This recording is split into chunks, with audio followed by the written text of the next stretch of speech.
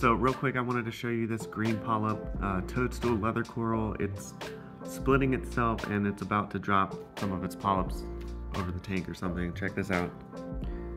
Look at how it's just splitting itself right there. And then look right up here. It's got a little piece that's probably about to drop off. I can probably frag that and make another green toadstool leather coral.